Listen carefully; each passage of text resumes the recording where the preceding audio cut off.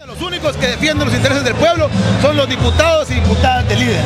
Hoy gana el pueblo con la incorporación de Baudilio Dichos. Hoy gana Guatemala porque se suma una persona más, un líder más que va a defender los intereses de la gente trabajadora, los intereses de la gente pobre. Hoy gana Guatemala porque el partido de oposición, el único partido de oposición, se consolida para ser un ente fiscalizador y contralor de un gobierno que más que todo ha demostrado que no tiene brújula y que realmente nos va a llevar a ocho años sin presidente. Líder va hoy en el camino correcto, consultando las cosas con su pueblo, pidiéndole al pueblo que diga si está bien lo que estamos haciendo, como lo hará Valdizón